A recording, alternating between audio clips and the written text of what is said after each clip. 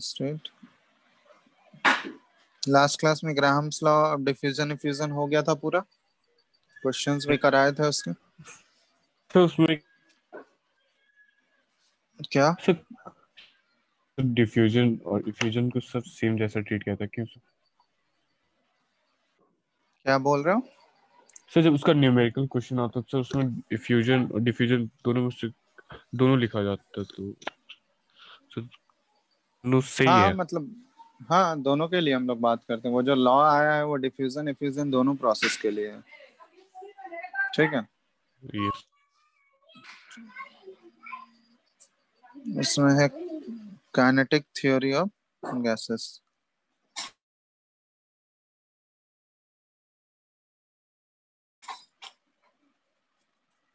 ठीक है। इसको केटीजी के नाम से बोलते हैं हम लोग काइनेटिक थ्योरी ऑफ़ गैसेस अब ये एक्चुअली काइनेटिक थ्योरी जो था, इसके कुछ कुछ पोस्टुलेट्स हैं, ठीक है? एजम्पशंस इसमें कुछ कुछ कंसिडर किया जाता है। एजम्पशंस एंड पॉस्टुलेट्स वो देख लेते हैं क्या क्या है, फिर आगे देखेंगे। इसमें सबसे पहला है जो बेसिक एजम्पशंस हैं कुछ कुछ ठीक है, और कुछ कुछ डेरिवेशन भी करेंगे इसमें, एक इक्वेशन आता है इसका। तो ये बोला गया कि molecules of same gases are identical in all respects ठीक है? अगर सेम गैस के मॉलिक्यूल्स हैं तो वो सारे इसमें आइडेंटिकल होंगे। सारे रेस्पेक्ट्स में आइडेंटिकल होंगे। मास में आइडेंटिकल होंगे। शेप उनका ऑलमोस्ट सेम एक जैसा होगा। साइज़ उनका सेम होगा, ठीक है? तो जस्ट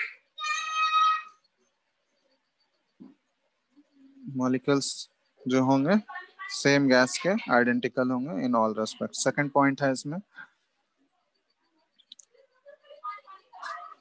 कि molecules are constantly in random motion along straight lines. ठीक है? मॉलिक्यूल्स जो होंगे वो कॉन्स्टेंटली रैंडम मोशन में होंगे अलोंग स्ट्रेट लाइन तो ये रैंडम मोशन किसी भी डायरेक्शन में हो सकता है, ठीक है? ये एक्चुअली थ्री होता है तो ये किसी भी डायरेक्शन में हो सकता है एक्स वाई जेड और तीनों में। लेकिन जब भी वो मूव करेगा अलॉन्ग स्ट्रेट लाइन ठीक है? वो कर्व्ड पाथ फॉलो नहीं करेगा। जैसे मान लो यहाँ पे हम लोग अगर रिज्यूम करें, आवाज़ आ रहा है ना? ठीक है, जैसे यहाँ पे। तो ये मॉलिक्यूल जो है, जैसे मान लो ये यू वेलोसिटी से ऐसे जा रहा है मॉलिक्यूल ठीक है तो इसका कंपोनेंट हम लोग, ये एक्चुअली थ्री में होता है स्पेस थ्री स्पेस में है, u वेलोसिटी से ऐसा जा रहा है। तो इसका तीन कंपोनेंट आएगा। एक एक्स एक्सिस के अलॉन्ग यू एक्स इसका कंपोनेंट हो जाएगा।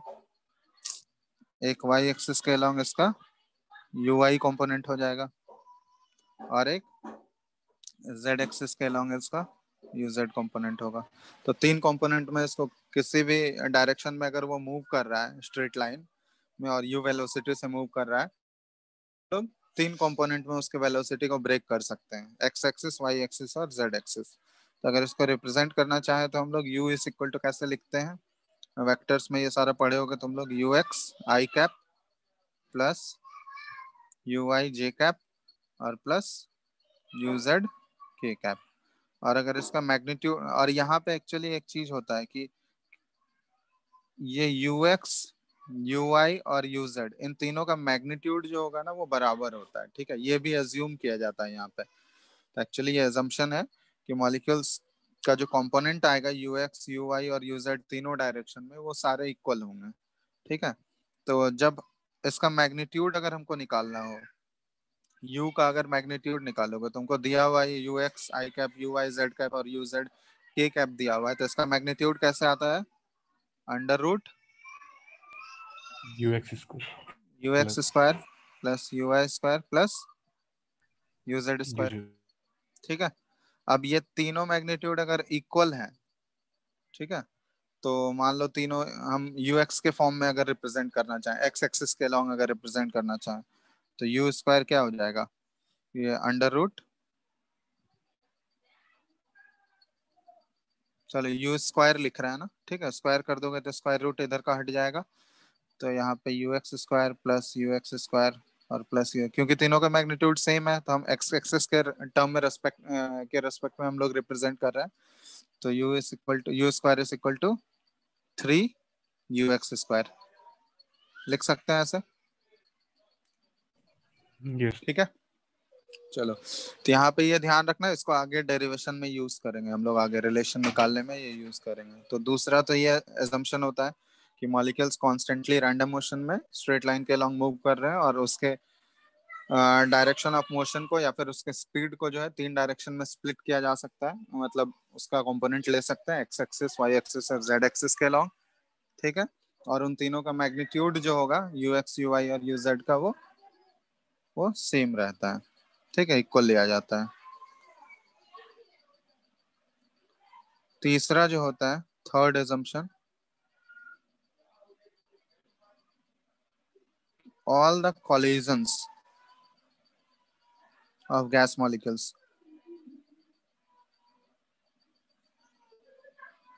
Among themselves and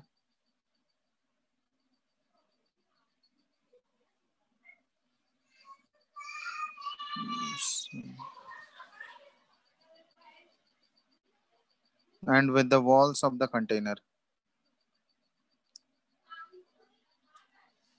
are elastic in nature ठीक है? मतलब अगर मॉलिक्यूल्स कॉन्स्टेंटली रैंडम मोशन में मूव कर रहे हैं तो ऑब्वियसली वो एक दूसरे से कोलाइड करेगा और कंटेनर के वॉल से कोलाइड करेगा, तभी तो प्रेशर डेवलप होता है ना? प्रेशर कैसे डेवलप होता है? किसी भी गैस का प्रेशर हम लोग कैसे लेते हैं? जो गैस मॉलिक्यूल्स जो है वो कंटेनर के वॉल को स्ट्राइक करता है, ठीक है? तो उसकी वजह से वो प्रेशर डेवलप करता है। तो यहाँ पे जितने भी कॉलिजन हो रहे हैं जिस जिस मॉलिक्यूल्स के बीच में या जितने भी टाइप्स के कॉलिजन हो रहे हैं आइदर मॉलिक्यूल्स कंटेनर के वॉल से कोलाइड कर रहा है या फिर मॉलिक्यूल्स आपस में कॉलिजन कर रहे हैं। तो सारे कॉलिजन जो है ये इलास्टिक इन नेचर होते हैं। कॉलिजन तुम लोग पढ़ चुके हो? अभी दो कॉलिजन के बारे में? फिजिक्स में? सिर्फ़ नेक्स्ट के नेक्स्ट चैप्टर में।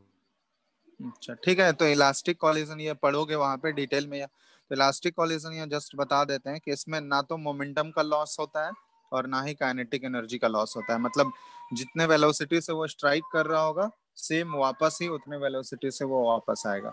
समझ में आ रहा है? मतलब मान लो अगर 10 मीटर पर सेकंड के स्पीड से वो स्ट्राइक किया तो वहाँ पे कोई भी एनर्जी का लॉस नहीं होगा, काइनेटिक एनर्जी का कोई भी ट्रांसफ़र नहीं होगा, वो वापस भी उतनी ही वेलोसिटी से वापस आएगा। मतलब जितना वेलोसिटी से वो स्ट्राइक किया था, उतनी वेलोसिटी से वापस आएगा। तो इलास्टिक कॉलिजन में ये लिया जाता है मोमेंटम और काइनेटिक एनर्जी इन दोनों का लॉस नहीं होता है। ठीक है? मोमेंटम एंड काइनेटिक एनर्जी तो इन दोनों का नो लॉस होगा। तो उसको हम लोग इलास्टिक कॉलिजन बोलते हैं। ठीक है? ये सारा पढ़ोगे डिटेल में फिजिक्स में पूरा चैप्टर ही है इसमें। है ना?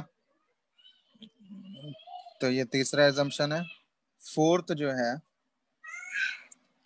ये है कि the pressure of a gas is due to the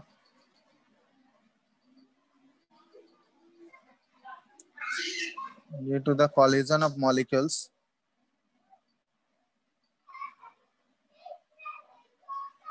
with the walls of the container ठीक है तो ये तो बता ही चुके हैं कि प्रेशर जो गैस का डेवलप होता है, वो गैस के मॉलिक्यूल्स जो कॉल कंटेनर के वॉल से कोलाइड करते हैं, वो उसकी वजह से डेवलप होता है। तो यहाँ पे अगर जितना ज़्यादा नंबर ऑफ़ कॉलिजन होगा पर यूनिट एरिया उतना ज़्यादा प्रेशर डेवलप होगा। तो pressure is directly proportional to हम लोग लिख सकते हैं number of collision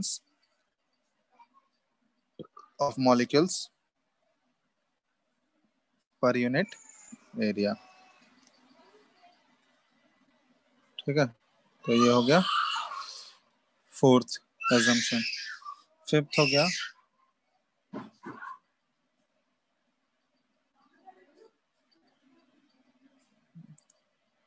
The kinetic energy of a gas depends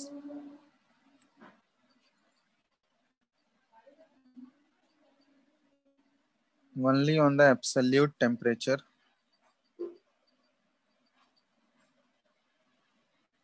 of the system. ठीक है? तो ये ध्यान रखना काइनेटिक एनर्जी जो है किसी भी गैस के मॉलिक्यूल्स का, वो सिर्फ़ और सिर्फ़ एब्सोल्यूट टेम्परेचर मतलब टेम्परेचर इन केल्विन स्केल पे डिपेंड करेगा। वो नेचर ऑफ़ द गैस पे डिपेंड नहीं करता है, ठीक है? तो ये चीज़ बहुत ही इंपॉर्टेंट पॉइंट है ये वाला। काइनेटिक एनर्जी सिर्फ़ और सिर्फ़ किस पे डायरेक्टली प्रोपोर्शनल होता है? एब्सोल्यूट टेम्परेचर पे। एब्सोल्यूट टेम्परेचर अगर बढ़ेगा तो काइनेटिक एनर्जी मॉलिक्यूल का बढ़ेगा, अगर घटेगा तो वो काइनेटिक एनर्जी भी डिक्रीज होगा। ठीक है? Sixth assumption the volume occupied by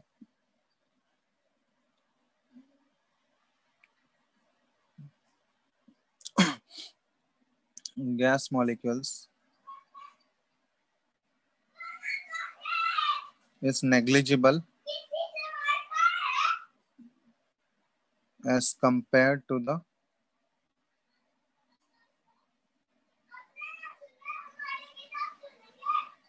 as compared to the volume of the container. ठीक है? तो the volume occupied by gas molecules ये जो आइडियल गैस वाला एजम्पशन है कि कंटेनर के वॉल्यूम के रेस्पेक्ट में जो volume occupied by gas molecules है, उसको हम लोग नेग्लेक्ट कर देते हैं। मतलब उसको नेग्लिजिबल कंसिडर करते हैं।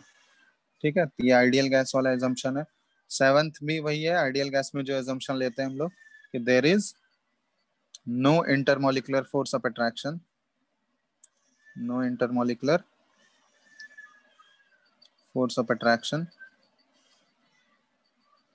among molecules. ठीक है? तो ये इंटरमोलिकुलर फोर्स ऑफ़ अट्रैक्शन भी ज़ीरो कंसिडर करना है। तो ये सारे कुछ कुछ एजम्पशंस हैं जो कि काइनेटिक थ्योरी ऑफ़ गैसेस में लिया जाता है। अब इसका इक्वेशन हम लोग देखेंगे एक इक्वेशन होता है उसको कैसा डिराइव करते हैं ठीक है? हो गया है ना? ये लिख लियो सब लोग। Last point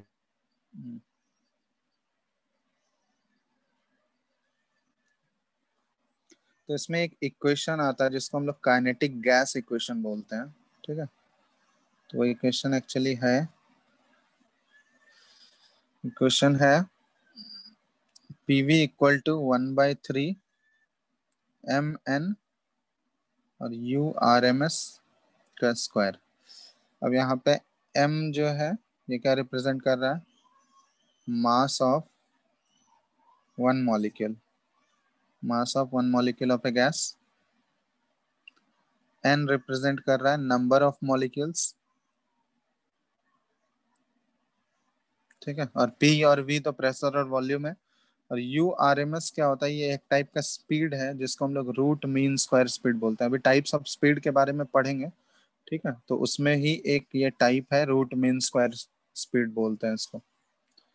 root mean square RMS का वही मतलब हुआ रूट मीन स्क्वायर स्पीड या फिर वेलोसिटी ऑफ़ मॉलिक्यूल्स ठीक है, और इसका रूट मीन स्क्वायर को रिप्रेजेंट कैसे किया जाता है? U R M S is equal to मान लो बहुत सारे गैस मॉलिक्यूल्स हैं तो यू वन का स्क्वायर प्लस यू टू का स्क्वायर प्लस यू थ्री का स्क्वायर अप टू मान लो एन गैस मॉलिक्यूल्स हैं तो यू एन का स्क्वायर सबका स्पीड का स्क्वायर कर दोगे वेलोसिटी का स्क्वायर और उसका हम लोग मीन ले लेंगे। और मीन लेके क्या करेंगे? उसका रूट ले लोगे। तो जैसे नेम होता है उसी के अकॉर्डिंग ये डिफाइंड है।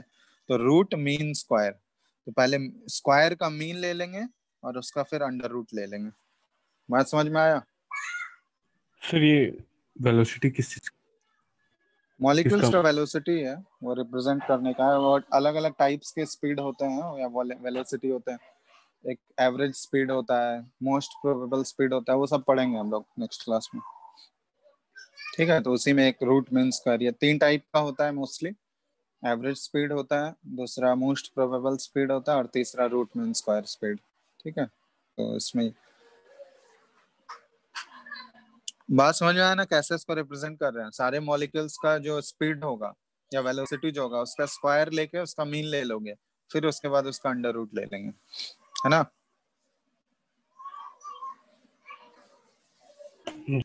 यस सर चलो अब इसका डेरिवेशन देख रहे हैं हम लोग कैसे डिराइव करना है। ये जो इक्वेशन आया है PV equal to one by three M N U R M S का स्क्वायर इसका डेरिवेशन देखते हैं हम लोग।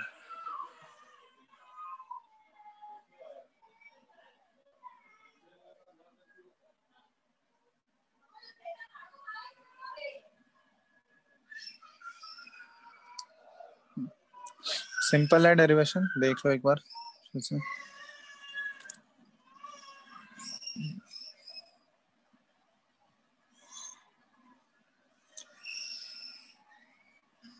जैसे मान लो ये कंटेनर है, ठीक है?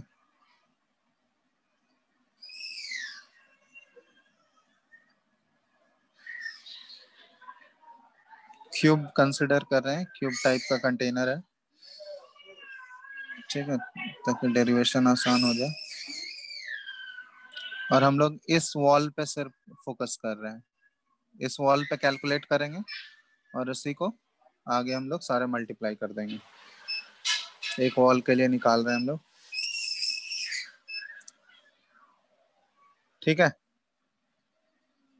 ये है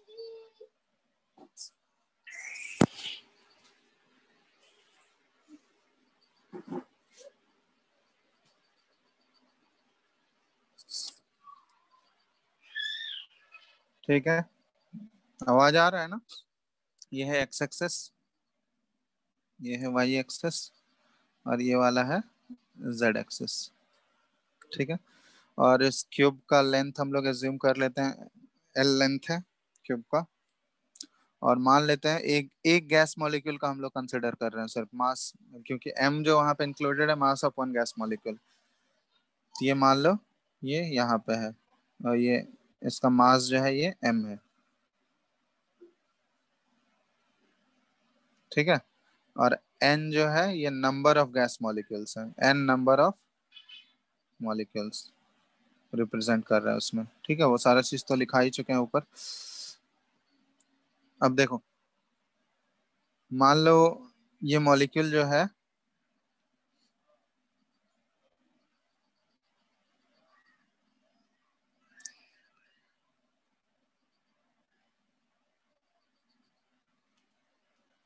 हेलो।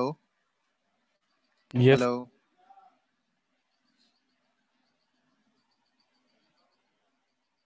आवाज़ आ रहा है? Yes check sir. कर लो। सबको आ रहा है ना? यस सर हम्म ठीक है। चलो तो मान लेते हैं ये गैस मॉलिक्यूल है।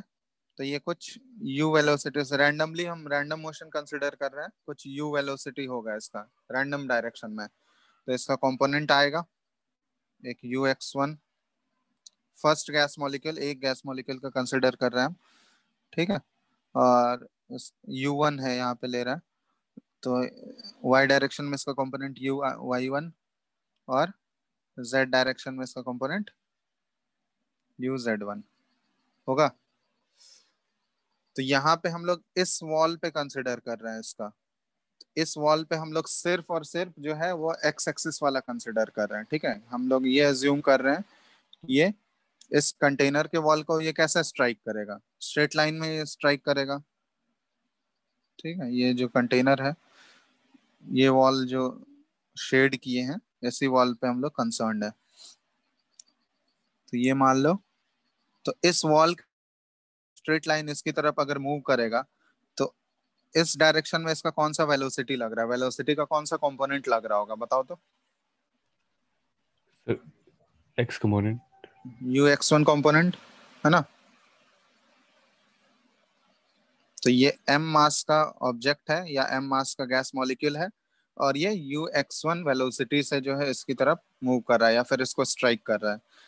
और ये सेम वापस भी अगर वापस जाएगा ये स्ट्राइक करने के बाद जब ये वापस जाएगा तो वापस भी ये बता चुके हैं कि यहाँ पे कॉलिजन जो भी कंसिडर करना है, वो इलास्टिक कॉलिजन है। तो कोई भी एनर्जी या फिर कोई भी मोमेंटम का लॉस नहीं होगा। तो ये वापस भी कौन से वेलोसिटी से जाएगा? यू एक्स वन वेलोसिटी से ही जाएगा। बट डायरेक्शन इसके वेलोसिटी का चेंज हो जाएगा, ठीक है? वो हम लोग देखेंगे कि मोमेंटम पे उस पर फ़र्क पड़ेगा उससे। तो मोमेंटम एक्चुअली जो होता है लीनियर मोमेंटम जो होता है, वो एक्चुअली वेक्टर क्वांटिटी है या स्केलर क्वांटिटी है, बताओ तो। Vector वेक्टर क्वांटिटी है, ठीक है? क्योंकि उसमें मास इनटू वेलोसिटी का वो प्रोडक्ट है। मास तो कांस्टेंट रहता है बट वेलोसिटी वेक्टर होता है है ना? जिसकी वजह से लीनियर मोमेंटम भी वेक्टर होगा। तो सबसे पहले हम लोग, उसको लीनियर मोमेंटम को हम लोग पी से रिप्रेजेंट करते हैं, ठीक है? कैपिटल पी से। तो पी इनिशियल लिख रहे हैं मतलब इनिशियल लीनियर मोमेंटम कितना होगा? तो एम एम मास का पार्टिकल है और वो किस वेलोसिटी से जा रहा है? यू एक्स हम लोग इस डायरेक्शन को पॉजिटिव एज्यूम कर रहे हैं। ठीक है ये वाला जो डायरेक्शन है इधर ये पॉजिटिव एज्यूम कर रहे हैं। तो यू एक्स वन का वैल्यू क्या आ जाएगा वो? पॉजिटिव तो इनिशियल मोमेंटम वो हो गया। अब पी फाइनल जब लिखोगे तो पी फाइनल क्या आ जाएगा? M into minus u x one हो जाएगा। बात समझ में आ रहा है? हेलो यस सर ये हो गया minus m u x one तो यहाँ पे जब चेंज इन मोमेंटम की हम लोग बात करेंगे। Change in momentum change in momentum क्या हो जाएगा बताओ तो? डेल्टा पी और यहाँ पे सिर्फ़ मैग्नीट्यूड की बात कर रहे हैं। तो चेंज इन मोमेंटम क्या हो जाएगा? Two times m into mu x one हो जाएगा? फाइनल माइनस इनिशियल करो या फिर इनिशियल माइनस फाइनल करो। हम चेंज हम सिर्फ़ मैग्नीट्यूड पे कंसर्न है। तो चेंज इन मोमेंटम कितना हो जाएगा? उसका मैग्नीट्यूड क्या हो जाएगा? Two times m u x one हो जाएगा? बताओ। यस सर चलो। यहाँ तक क्लियर हो गया। अब इसके बाद हम लोग देखते हैं कि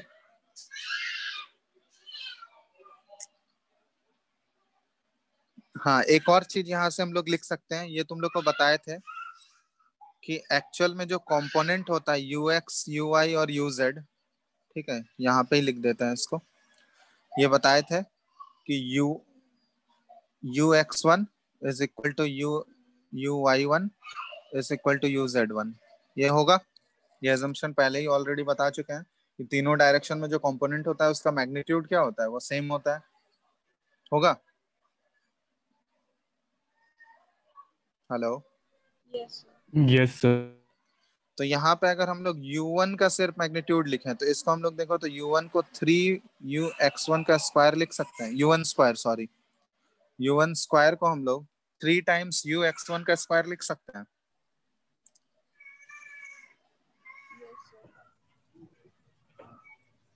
लिख सकते हैं या नहीं? यस सर क्योंकि ये ऑलरेडी ऊपर बता चुके हैं तुम लोगों को। देख लो ये वाला जो पार्ट है। है ना? Yes u u square is equal to three times u x का स्क्वायर है। तो उसी तरह हम लोग यू वन कंसिडर कर रहे हैं क्योंकि एक मॉलिक्यूल का हम लोग कंसिडर कर रहे हैं फ़र्स्ट मॉलिक्यूल का। तो u one is equal to three u x one का होल स्क्वायर हो गया। ठीक है? तो यहाँ पे ये ध्यान रखना इसको बताए थे वो यूज़ करेंगे डेरिवेशन में तो वो एक्चुअली वो वहाँ पे आ गया। अब यहाँ पे नेक्स्ट हम लोग निकाल रहे हैं कि time taken for each collision time taken for each collision एक पूरा कॉलिजन होने के लिए मतलब टाइम टेकन हम लोग ऐसे लेते हैं कि एक कॉलिजन होने के बाद जब दूसरा कॉलिजन होगा, उस समय तक टाइम कंसिडर करना है। समझ में मान लो ये यहाँ से स्टार्ट किया और इसको एक बार स्ट्राइक किया, फिर वापस आएगा। ठीक है ना? वापस आएगा तो इसका दूसरा कॉलिजन इस वाले वॉल पे हो जाएगा ना? हम लोग, मान लो, ये वाले वॉल पे सिर्फ़ कंसिडर कर रहे हैं। तो मान लो, एक बार ये आके स्ट्राइक कर दिया। तो स्ट्राइक करने के बाद दूसरी बार स्ट्राइक करने के लिए क्या करना होगा इसको? तो ये पहले फिर वापस उधर जाएगा, फिर उस वॉल से ये टकरा के फिर इधर दूसरे वॉल इस वॉल पे आके टकराएगा। तो उसमें कितना टाइम लग रहा है? मतलब टकराने के बाद दूसरी बार जब उसी सेम वॉल से वो टकरा रहा है तो उसमें कितना टाइम इलेप्स हो रहा है? तो टाइम हम लोग कैसे निकालते हैं? Distance total distance travelled by speed निकालते हैं। टोटल टोटल स्पीड वो कितना सॉरी टोटल डिस्टेंस वो कितना कवर करेगा? बताओ दूसरा बार कोलाइड करने के लिए वो कितना डिस्टेंस टोटल कवर करेगा? ट्वेल्व। हाँ ट्वेल्व हो जाएगा। समझ में आ रहा है क्यों ट्वेल्व होगा? क्योंकि मान लो एक बार ये टकरा चुका है तो उस समय से उसका टाइम स्टार्ट करो। तो फिर वापस ये इस वॉल से टकराने के लिए अगर जाएगा तो एल डिस्टेंस इधर कवर कर रहा है। फिर इस वॉल से टकरा के फिर वापस इस वॉल पे जब आएगा तो फिर से एक बार एल डिस्टेंस कवर करेगा। तो दूसरी बार इसको टकराने के लिए टोटल डिस्टेंस कितना कवर करना पड़ रहा है? दो time two times of l distance cover करना पड़ रहा है। और उस दौरान उसका वेलोसिटी कितना है? क्योंकि एक्स डायरेक्शन में ही कंसिडर कर रहे हैं तो उसका वेलोसिटी यू एक्स वन समझ में आ रहा है? कोई डाउट है? Yes sir yes doubt sir ये वॉल से क्यों टकराएगा? सर वहाँ पे बहुत सारे मॉलिक्यूल है तो उससे भी टकरा के आएगा ना। क्या? सर वो जो कंटेनर है उसमें तो मॉलिक्यूल में आपस में भी से कोलिजन होता है ना? आपस में कोलिजन बहुत ही कम चांसेस होते हैं क्योंकि गैस मॉलिक्यूल से बहुत दूर दूर कंसिडर कर रहे हैं। आइडियल गैस वाला केस कंसिडर कर रहे हैं। तो गैस मॉलिक्यूल्स के बीच में इंटरेक्शन बिल्कुल ज़ीरो है मतलब बहुत दूर पे होगा गैस मॉलिक्यूल ठीक है तो वो चांसेस बिल्कुल नेग्लेक्ट करके हम लोग चल रहे हैं। समझ में आ रहा है? किसी एक मॉलिक्यूल को स्टडी कर रहे हैं तो दूसरा मॉलिक्यूल उससे बहुत दूर होगा। ठीक है ना?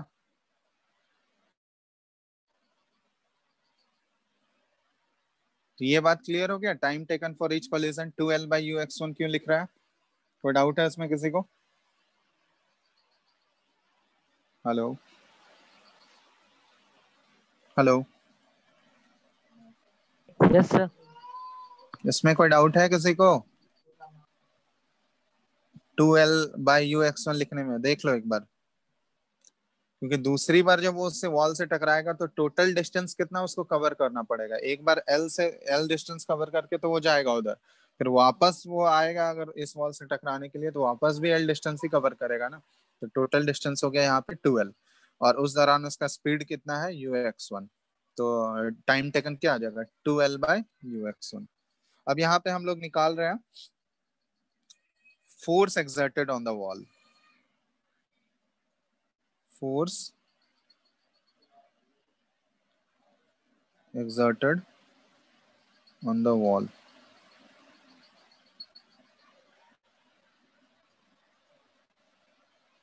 ठीक है? तो force exerted on the wall कितना हो जाता है? बताओ। Rate of change of momentum rate of change of momentum को हम लोग फोर्स बोलते हैं। ये न्यूटन्स का कौन सा लॉ है? सेकंड सेकंड लॉ है। ठीक है? तो वहाँ से आ रहा है। तो change rate of change of momentum कैसे निकालोगे? Change in momentum divided by time वही हो गया ना रेट कि कितने रेट कितने टाइम में वो rate of change of momentum हो रहा है। चेंज ऑफ़ मोमेंटम कितने टाइम में हो रहा है? तो उसी को rate of change of momentum बोलते हैं हम लोग। तो यहाँ पे लिख सकते हैं कि force is equal to delta p by क्या आ जाएगा? डेल्टा टी मतलब change in momentum divided by time taken मतलब कितने टाइम में वो चेंज इन मोमेंटम हो रहा है उसी को हम लोग फोर्स बोलते हैं according to Newton's second law तो यहाँ पे देखो डेल्टा पी का वैल्यू आ चुका है हम लोगों का मैग्नीट्यूड क्या है? Two m u x one और डिवाइडेड बाय टाइम टेकन कितना है? Two l by u x one ठीक है? तो अब इसको ऊपर भेजो। क्या? सर सर यहाँ पे तो टाइम टेकन से तो दो बार यहाँ मोमेंटम चेंज हो रहा। इस टाइम में सर हम सिर्फ़ एक वॉल पे कंसिडर कर रहे हैं ठीक है? उसी वॉल के लिए हम लोग निकाल रहे हैं। डेरिवेशन जो है वो सिर्फ़ एक वॉल के लिए कर रहे हैं। क्लियर है ना? Force exerted on the wall तो उस वॉल में मोमेंटम चेंज कितना हो रहा है? दूसरे वाले वॉल से टकरा रहा है उससे हम कंसर्न नहीं है। हम सिर्फ़ एक वॉल के लिए डेरिवेशन कर रहे हैं ठीक है? क्लियर है ना? तो, एक साइड तो सर काफ़ी मतलब जो सर जो टाइम ड्यूरेशन है सर वो जब हम कॉलिजन की टाइम हम लोग हाँ। लेंगे ना जो जिसमें सिर्फ़ कॉलिजन हो रहा है। हाँ तो कॉलिजन मतलब टाइम टेकन फॉर कॉलिजन हम लोग क्या ले रहे हैं कि दो कॉलिजन जब हो रहा है उसके बीच का टाइम टेकन मतलब दूसरी बार एक बार अगर वो टकरा गया तो उसके बाद वापस जब दूसरा बार आके वो टकरा रहा है तो उसके बीच में टाइम इलेप्स कितना हो रहा है, वो निकाल रहे हैं। ठीक है? तो टाइम टेकन उसको बोल रहे हैं कि ईच कॉलिजन के लिए वो मतलब एक कॉलिजन के लिए वो उतना टाइम होगा। जब तक दूसरा कॉलिजन नहीं हो रहा है तो वो पहले वाले कॉलिजन का ही वो टाइम गिनाएगा। ठीक है? वो काउंट होगा फ़र्स्ट वाले कॉलिजन के टाइम में। तो यहाँ पे force exerted on the wall क्या हो गया? Delta rate of change of momentum हो गया तो delta p by delta t तो ये यू एक्स वन ऊपर चला जाएगा तो क्या बच जाएगा देखो तो? टू टू कैंसिल आउट हो गया तो यहाँ पे बच गया एम बाय एल और ये हो गया यू एक्स वन का होल स्क्वायर हो गया। ठीक है? Yes. चलो अब ये अगर आ गया तो अब यहाँ से हम लोग देखो इसको लिख सकते हैं। कि फोर्स एक्सर्टेड यहीं पे हम लोग रिप्रेजेंट कर सकते हैं एम बाय एल और यू एक्स वन को हम लोग देखो यू एक्स वन को ये लिख सकते हैं one by three times of u one का स्क्वायर बताओ। यस क्योंकि ऊपर लिखाए थे तुम लोगों को देख लो एक बार चेक कर लो। कि यू वन का square is equal to three times u x square है। तो यू एक्स का स्क्वायर क्या हो जाएगा? One by three times u one का स्क्वायर हो जाएगा? तो वही चीज़ यहाँ पे लिख रहे हैं। यू एक्स स्क्वायर को हम लोग one by three times u one का स्क्वायर लिख दे रहे हैं। तो अब ये force due to one molecule है। एक मॉलिक्यूल का निकाले हैं। अब यही अगर एन मॉलिक्यूल्स के हम लोग अप्लाई कर दें, ठीक है? Force due to n molecules तो एन मॉलिक्यूल्स के लिए के लिए अगर अप्लाई करोगे, ये क्या आ जाएगा? यहाँ पे देखो one by three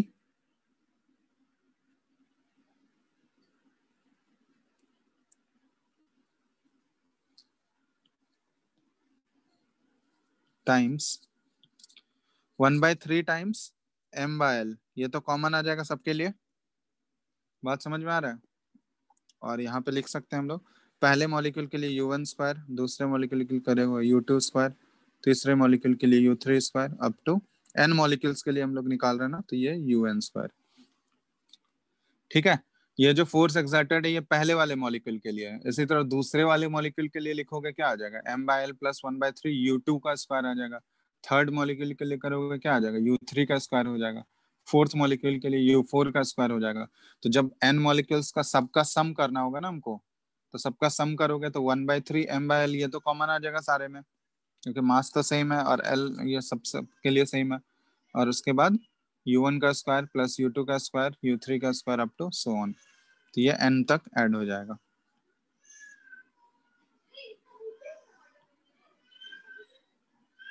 ठीक है? यहाँ तक? हेलो यस सर चलो। अब नेक्स्ट देखो इसमें। यही एन मॉलिक्यूल्स का एफ़ नेट अगर इसको हम लोग देखो किस तरीके से मॉडिफाई करते हैं, वो इक्वेशन हमको डिराइव करना है तो उस फॉर्म में कैसे ट्रांसफॉर्म करेंगे? तो one by three m by l यहाँ पे बचा। और यहाँ पे क्या है?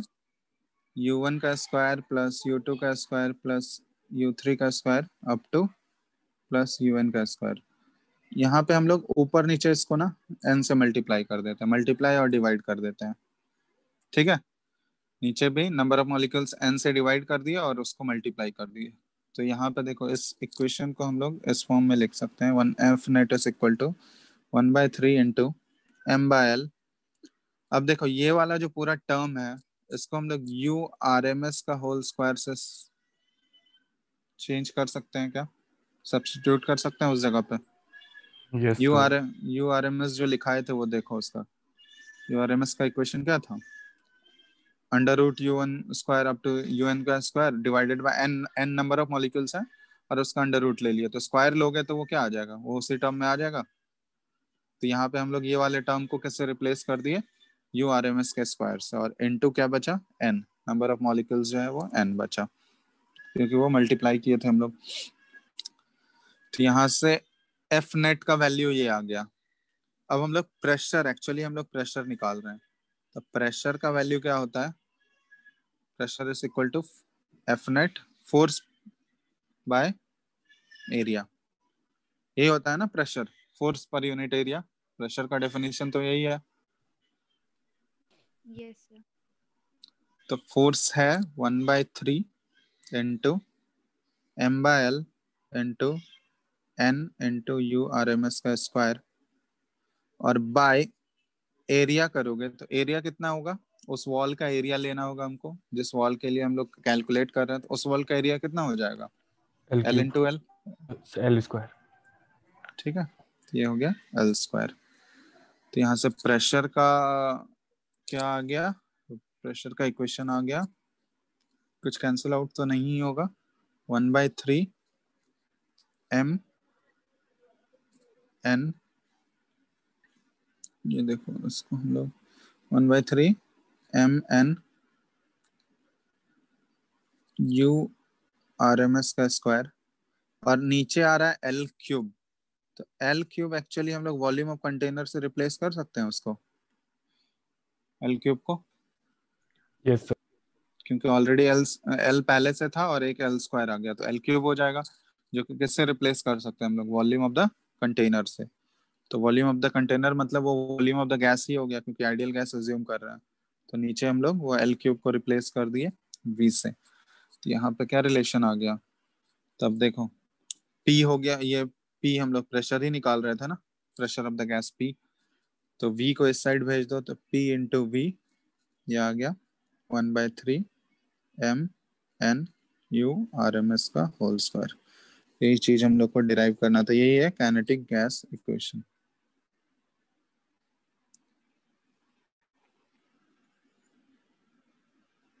ठीक है।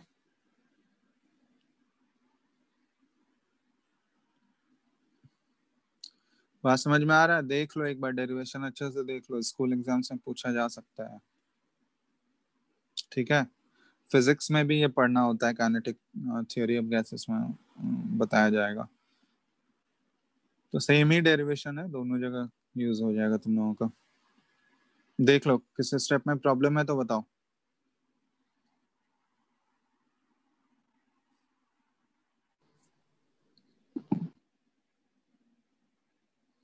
सर थोड़ा लास्ट वाला स्टेप फिर से समझाइए ना।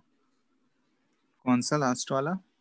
लास्ट से sir pressure is equal to f net by a area तो उसमें कहाँ कुछ किए हैं? उसमें तो एल क्यूब की जगह बस वॉल्यूम पुट कर दिया। है सबका तो तुमको पता ही है ना एफ़ नेट का मैग्नीट्यूड आ चुका है एफ़ नेट का एक्सप्रेशन बाय एरिया तो एरिया जिस वॉल पे हम लोग कंसिडर कर रहे हैं उस वॉल का एरिया कितना होगा? अगर उसका साइड लेंथ एल है स्क्वायर वाला वॉल है ना वो यस सर तो उसका एरिया कितना हो जाएगा? L into L L L square square. हो जाएगा। यस एल सर स्क्वायर और एक एल तो पहले से है तो एल क्यूब हो गया। एल क्यूब किसको रिप्लेस कर सकते हैं हम लोग? Volume of the container Yes, वो क्यूब क्यूबिकल कंटेनर है तो उसको वॉल्यूम से रिप्लेस कर दिए सर सेकंड स्टेप में नीचे में डिनोमिनेटर में n कहाँ से आया? कौन सा स्टेप सर यही वाला जहाँ पे f नेट फ़र्स्ट टाइम लिखा एफ़ नेट में डिनोमिनेटर में क्या आया? N सर एन अच्छा एन ऊपर नीचे मल्टीप्लाई किया है ना देखो नीचे डिवाइड किए हैं तो उसको ऊपर मल्टीप्लाई भी तो किए हैं ना यहाँ एन से। ताकि वो आरएमएस में कन्वर्ट कर सके हम लोग उस फॉर्म में। इसलिए ऊपर नीचे एन से मल्टीप्लाई और डिवाइड किए दिख रहा है ना यहाँ एन से मल्टीप्लाई भी तो किए मल्टीप्लाई डिवाइड करने से इक्वेशन में कोई फ़र्क नहीं पड़ेगा सेम नंबर से कर रहे हैं तो।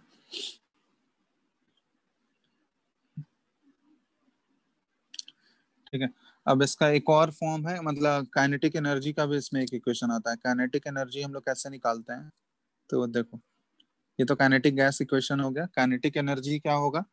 तो एक मॉलिक्यूल का अगर काइनेटिक एनर्जी देखें तो K is equal to half first molecule का अगर देखोगे तो half into M V square होता है तो half into M U one का स्क्वायर इसी तरह दूसरे मॉलिक्यूल का सेकंड मॉलिक्यूल का half into M into U two का स्क्वायर हो जाएगा, तीसरे का यू थ्री का स्क्वायर हो जाएगा। तो इसी तरह अगर हम लोग kinetic energy of N molecules अगर निकालें तो kinetic energy of N molecules कितना आ जाएगा? हाफ़ इंटू एम कॉमन हो गया हाफ़ एम और यहाँ पे U one square plus U two square plus U three का square up to U N का स्क्वायर ठीक है?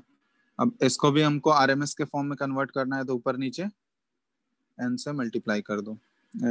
ऊपर से मल्टीप्लाई कर दिए, नीचे डिवाइड कर दिए। तो ये हम लोग इस फॉर्म में कन्वर्ट कर सकते हैं हाफ़ इंटू एम अब देखो, ये वाला टर्म जो है, इसको हम लोग यू आर एम एस से रिप्लेस कर सकते हैं यू आर एम एस का स्क्वायर से, है ना?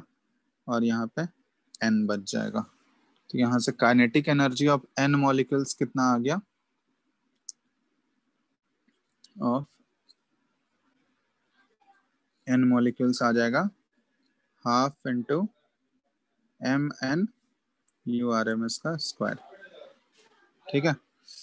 अब यहाँ देखो, इन दोनों का जब रेशियो लोगे काइनेटिक एनर्जी बाय पीवी इन दोनों का रेशियो लेते हैं तो क्या आएगा? काइनेटिक एनर्जी में आ रहा है half into M N U R M S का स्क्वायर और पीवी का वैल्यू कितना आ रहा है? पीवी का एक्सप्रेशन क्या आया था बताओ तो।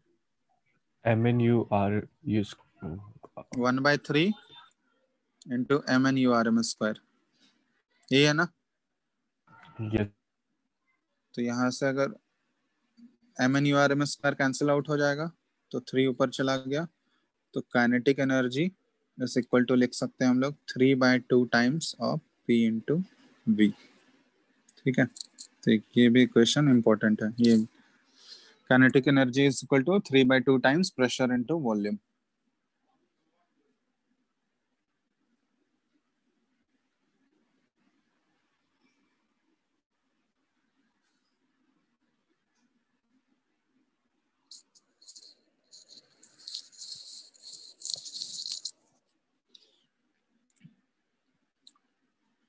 ठीक है?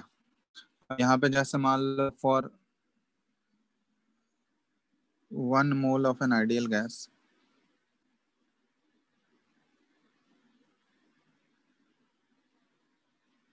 PV is equal to क्या लिख सकते हैं हम लोग? टी क्योंकि एन का वैल्यू वन हो जाएगा तो PV equal to R T लिख सकते हैं। तो काइनेटिक एनर्जी क्या हो जाएगा? Kinetic energy for one mole kinetic energy for one mole of an ideal gas क्या लिख सकते हैं? One mole of an ideal gas हाँ तो यहाँ थ्री बाई टू और पीवी के जगह क्या पुट कर सकते हैं? अगर वन मोल के लिए निकालना है तो three by two times R into T तो यहाँ से देख पा रहे हो कि काइनेटिक एनर्जी सिर्फ़ और सिर्फ़ ये क्योंकि थ्री बाई टू कॉन्स्टेंट है टेम्परेचर भी कॉन्स्टेंट है है ना? सॉरी टेम्परेचर नहीं आर का वैल्यू कॉन्स्टेंट है तो सिर्फ़ और सिर्फ़ वो किस पे डिपेंड कर रहा है?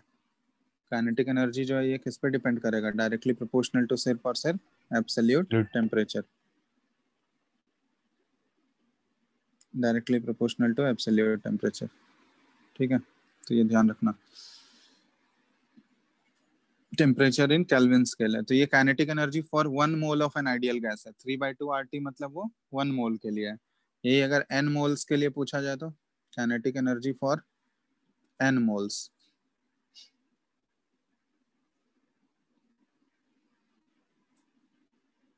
of an ideal gas तो वन मोल के लिए हमको पता ही है एन मोल के लिए निकालना है तो क्या हो जाएगा? N three into by two three by two R T हो जाएगा। ठीक है? The kinetic energy of one molecule या for one molecule of a gas एक मॉलिक्यूल के लिए अगर निकालना है kinetic energy for one molecule of a gas of an ideal gas ही कर लो। ठीक है? आइडियल गैस का ही बात कर रहे हैं हम लोग।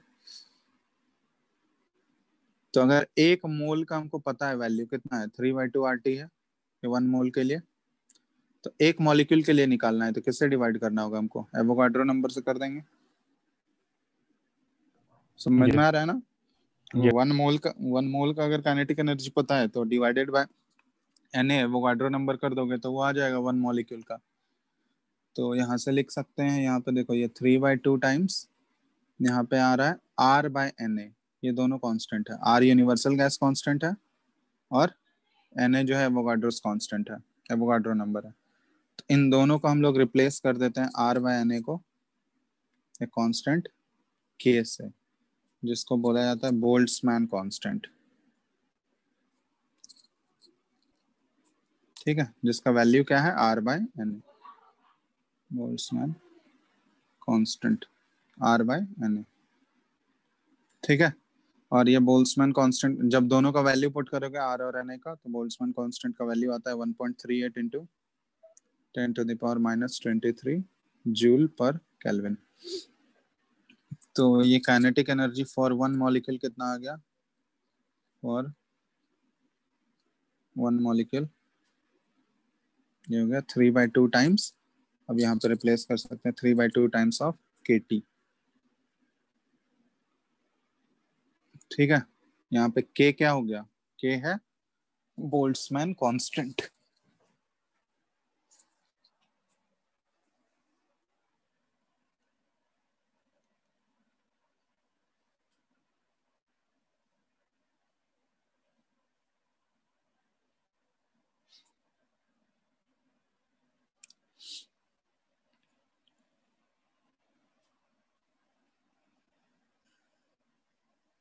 ठीक है? Yes sir. चल। अब देखो एक दो क्वेश्चंस देते हैं कैसे इसको यूज़ करना है ठीक है? तो ये सारे इक्वेशंस हैं ये बस ध्यान रखना है ये सारे एक्सप्रेशन दो तीन जो करवाए एक PV equal to one by three M N U R M S का स्क्वायर वो मेन एक्सप्रेशन है। काइनेटिक गैस इक्वेशन बोलते हैं उसको और kinetic energy equal to three by two times PV वो आ गया। फिर वन मोल के लिए काइनेटिक एनर्जी क्या हो जाएगा? Kinetic energy is equal to three by two times R T वो वन मोल के लिए हुआ। वन मॉलिक्यूल के लिए काइनेटिक एनर्जी कितना हो जाएगा? Three by two times of K T ठीक है? वेयर के इज़ ए बोल्ट्समैन कांस्टेंट और के का value R by N A होता है। Gas constant by Avogadro number चलो एक क्वेश्चन दे रहे हैं। Find the change in kinetic energy of 1 mole of ideal gas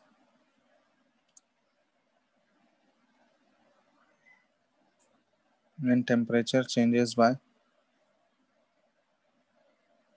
50 degree Celsius चलो करो जल्दी से सिंपल सा क्वेश्चन है फटाफट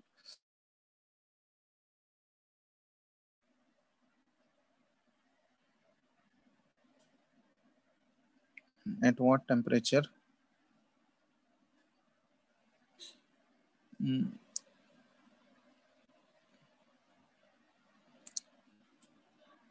will the kinetic energy be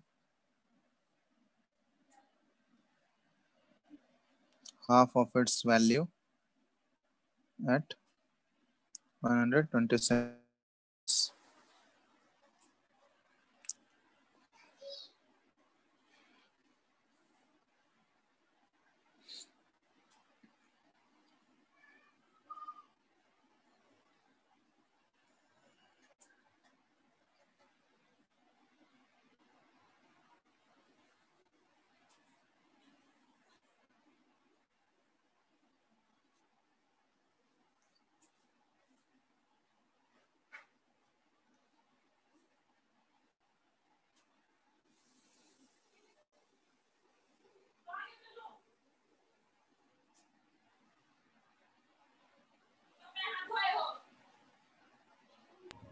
so fifty percent है क्या? चेंज इन काइनेटिक एनर्जी कितना आ रहा है? रेशियो बताओ ना।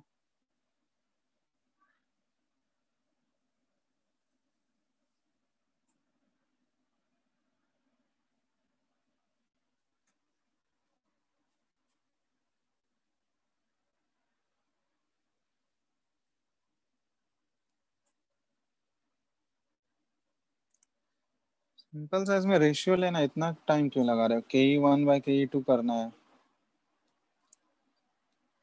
डिफरेंस तुमको बताना है। चेंज इन काइनेटिक एनर्जी कितना है। तो तुम्हारा डायरेक्ट वैल्यू आएगा, इसमें फिफ्टी परसेंट क्या बता रहे हो?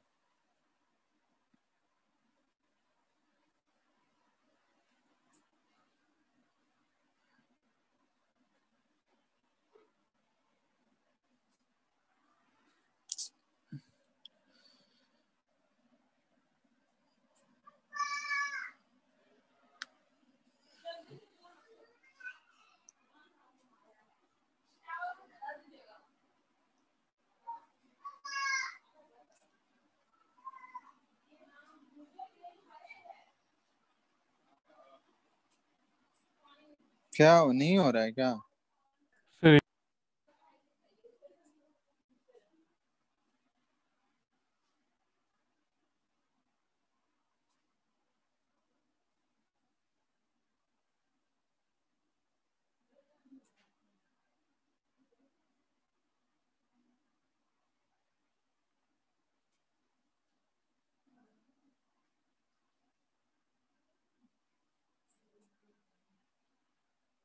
सर फिफ्टी बाई टी आ रहा है T plus fifty by T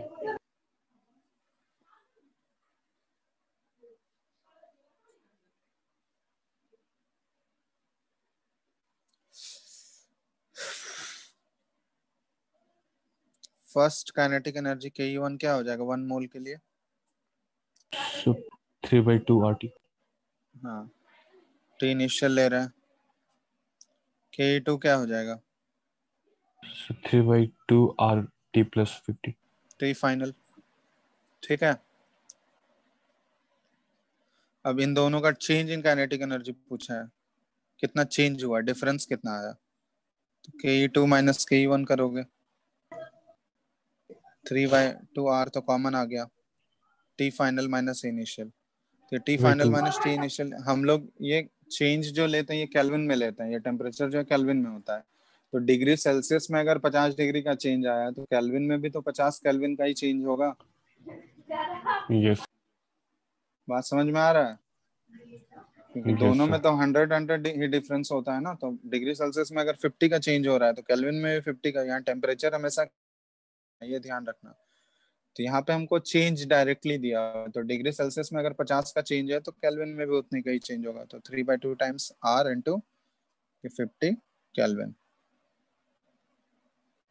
अब पुट कर दो। आर का वैल्यू नहीं आता है। आता zero point zero two one. Energy के टर्म में यहाँ निकाल रहे हैं ना तो 8.314 वाला यूज़ करोगे ना। ठीक है? काइनेटिक एनर्जी यहाँ पे निकाल रहे हैं। तो ये जूल वाला यूज़ होगा। जूल पर मोल केल्विन और इंटू फिफ्टी चलो इसको सॉल्व करो। कितना आ रहा है? सॉल्व कर लेना समझ में आ गया? ये सो आपने रेशियो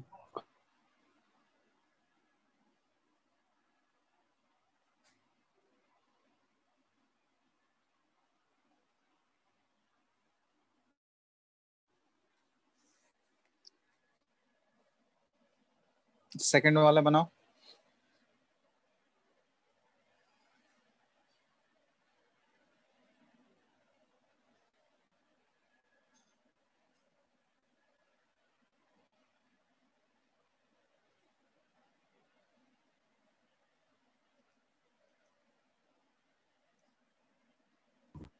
केल्विन में बताना।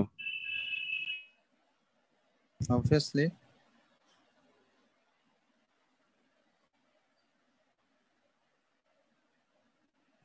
sir two hundred kelvin two hundred kelvin ये तो आसान ही है मतलब ये तो देख के ही बता सकते हो। ये बता चुके हैं जैसे काइनेटिक एनर्जी का क्या रिलेशन होता है एब्सोल्यूट टेम्परेचर के साथ?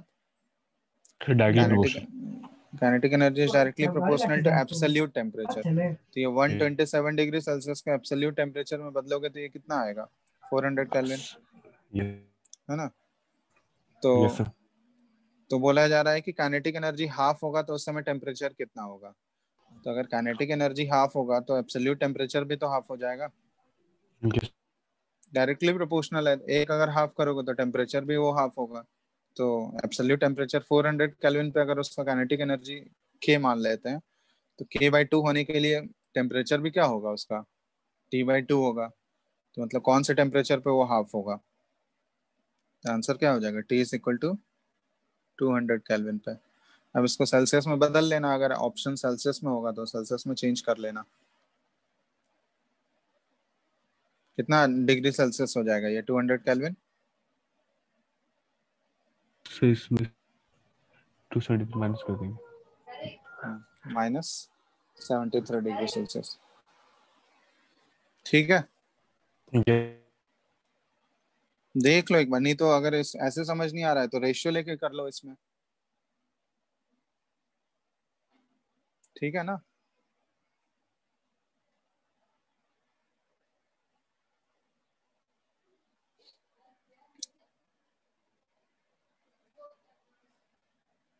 रेशियो लेके कर लेना, जिसको समझ नहीं आ रहा है, कैसे रेशियो लोगे? मान लेते हैं के वन ले लेते हैं इनिशियल काइनेटिक एनर्जी और ये डायरेक्टली प्रोपोर्शनल है तो कोई कांस्टेंट होगा K K K into T one और इसी तरह के ई टू क्या है? K E one by two है है ना? और ये K into T two temperature तो टी वन तो हमको दिया हुआ है, कितना कैलविन है? फोर हंड्रेड कैलविन तो टी टू तुमको निकालना है, इन दोनों का रेशियो लोगे तो क्या आ जाएगा? देख लो। K E one by K E one by two और ये के के कैंसिल आउट हो गया ऊपर 400 केल्विन बाय टी टू तो हमें पुट करोगे ऊपर टू चला गया। T two is equal to क्या आ गया? 400 केल्विन बाय टू आ गया 200 सर वो जो ग्रेड में एडवांस सेक्शन का क्वेश्चन हम्म बोलो।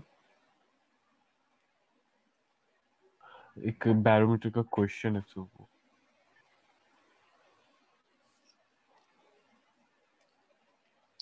कौन सा क्वेश्चन भेज देना उसको व्हाट्सएप टेलीग्राम ग्रुप में ठीक है? देख लेंगे उसको।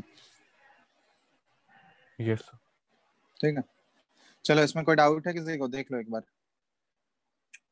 तो काइनेटिक थ्योरी ऑफ़ गैसेस यही है इसमें बस इतना ही क्वेश्चन है। डेरिवेशन एक बार अच्छे से देख लेना डेरिवेशन कैसे हुआ है एक बार खुद से भी ट्राई कर लेना। उसके बाद यही दो इक्वेशन है, दो तीन इक्वेशन इसी के ऊपर क्वेश्चन होंगे। ठीक है, और कुछ नहीं है इसमें। समझ आ गया ना सबको? डेरिवेशन से लेके प्रॉब्लम्स मतलब प्रॉब्लम्स इसी टाइप के होंगे मतलब उससे सारे क्वेश्चंस को अप्लाई करना है। इसी टाइप का क्वेश्चंस रहेगा सिचुएशनल कोई डाउट है किसी को? देख लो। हेलो कैसा कैसा क्वेश्चन आता है? क्वेश्चंस देखना बुकलेट में मिल जाएगा। मतलब क्वेश्चंस यही दो तीन इक्वेशंस हैं इसी के ऊपर क्वेश्चंस रहेंगे और कुछ नहीं है इसमें। जिस टाइप का दो तीन क्वेश्चंस कराए ना इसी तरह रेशियो लेके चेंज इन निकालना है वो सारा जो है उसी के पैटर्न पर रहेगा। जो फॉर्मूला है दो तीन फॉर्मूला है बस वो फॉर्मूला ध्यान रख लेना बस उसके बाद सारे क्वेश्चन बन जाएँगे इसके।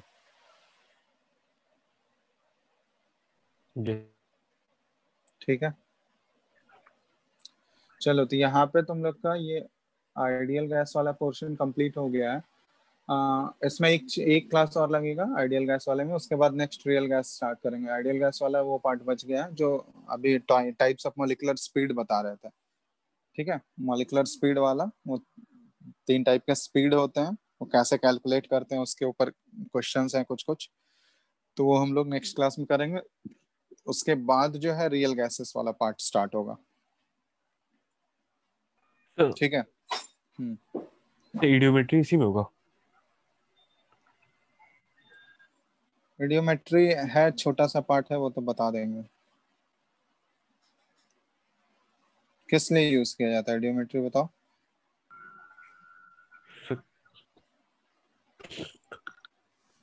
डॉक्यूमेंट्री जैसा रहता है सर। सर हम्म? वो बस सर रिएक्शन बेस्ड जो रहता है क्वेश्चन उसके लिए। एक्चुअली क्या करते हैं हम लोग गैसेस मिक्सचर के कंपोनेंट्स को डिटरमाइन करना होता है ठीक है? कि कौन कौन से मिक्सचर है?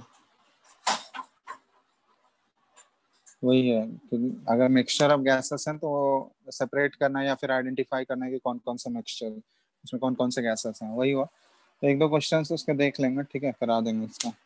अगर ऐसे तो रिसेंटली क्वेश्चंस नहीं पूछा जाता देख लेंगे अगर होगा क्वेश्चंस तो करा देंगे। और sir advance hmm sir advance का फिर क्वेश्चन पिछली बार मिला था एटॉमिक स्ट्रक्चर से उसके बाद नहीं मिला। एडवांस का क्वेश्चन मतलब? सर वो अतुल सर ने एक वर्कशीट जैसा एक एडवांस लेवल का क्वेश्चन दिए थे। अच्छा कौन से चैप्टर तक मिला है? सिर्फ़ एक ही मिला अभी तक वो बोले देंगे पर अभी तक मिला नहीं दूसरा। तब तक तुम लोग इससे एडवांस वाले उससे प्रीवियस ईयर से प्रैक्टिस करो ना। अब देखते हैं, बोल देंगे सर को। चलो प्रीवियस ईयर प्रैक्टिस कर रहे हो तुम लोग? उसका एक क्वेश्चन बैंक ले लो रिसेंट ईयर वाला। क्योंकि बुकलेट में तो रिसेंट ईयर वाला होगा नहीं। चार पाँच साल का तो नहीं होगा बुकलेट में। ठीक है तो एक क्वेश्चन बैंक ले लो कोई भी। उसमें सारे रिसेंट वाले जेई मेंस के भी मिल जाएँगे और जेई एडवांस के भी रिसेंट वाले क्वेश्चंस मिल जाएँगे उससे प्रैक्टिस कर सकते हो आराम से। बात समझ में आ रहा है क्या बोले? बोंगे क्वेश्चन बैंक लिया हो कि नहीं अभी तक? सर अभी नहीं लिया सर ले लो क्योंकि रिसेंट वाला क्वेश्चंस तो तुमको बुकलेट में नहीं मिलेंगे। अगर है पीडीएफ से भी कर सकते हो तुम लोग जेई मेंस के साइट पे तो सारा मिल ही जाएगा तुमको। प्रीवियस पाँच ईयर का डाउन डाउनलोड कर लेना वहाँ से वहाँ से भी कर सकते हो सॉल्व लेकिन उसमें वही तुमको चैप्टर वाइज नहीं होगा वो ढूंढना होगा पूरे पेपर में इस चैप्टर का कौन सा है। ऐसे क्वेश्चन बैंक ले लोगे तो उसमें चैप्टर वाइज रहता है ना अलग अलग।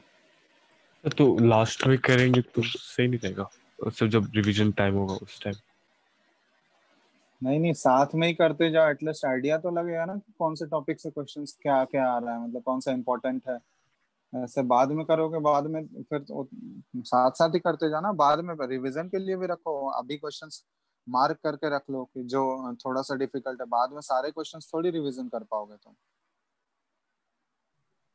यस अभी बन अभी करंटली बनाओगे ना उसको उसमें से जो अच्छा क्वेश्चन मिलेगा उसको मार्क करके रख लो कि बाद में हमको रिवाइज करना क्योंकि आसान आसान क्वेश्चन तो फॉर्मूला वाले वो तो रिवाइज करोगे नहीं टाइम वेस्ट होगा आपका रिवीजन में। अच्छे क्वेश्चन है वो रिवाइज करते हैं बच्चे। तो अभी बनाओ साथ साथ में ही बनाओ और जो अच्छे क्वेश्चंस मिलेंगे एक्सेप्शनली गुड क्वेश्चंस तो उसको मार्क करके रखो कि बाद में हमको रिवाइज करना होगा। बाद के लिए कुछ भी मत छोड़ो, बाद में टाइम नहीं मिलने वाला है। इस बार तो और नहीं मिलेगा टाइम क्लैरिटी ही नहीं है कुछ कि कितना सिलेबस रिड्यूस होगा या नहीं होगा। इस बार तो और दिक्कत होने वाला है। इसलिए बाद के लिए कुछ भी मत छोड़ो। अभी जितना भी टाइम मिल रहा है मैक्सिमम यूटिलाइज करो इसको।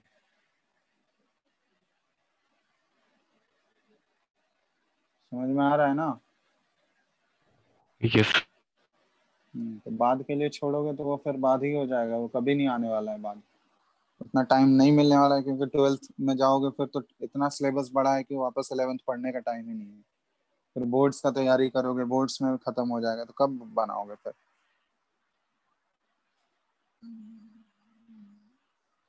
तो इसलिए अभी जो मैक्सिमम फ्री टाइम मिल रहा है उसको यूटिलाइज करो अच्छे से पूरा जो भी चैप्टर हो रहा है उसका पूरा थोरो कंप्लीट करो जितना भी हो रहा है। कुछ भी मत छोड़ो उसमें। ठीक है? यस चलो। चलो यहाँ तक करके रखो। आगे नेक्स्ट क्लास में करते हैं हम लोग। नेक्स्ट क्लास में हाँ वही मॉलिकुलर स्पीड्स के बारे में देखेंगे। ठीक है? उसके बाद रियल गैसेस स्टार्ट करेंगे।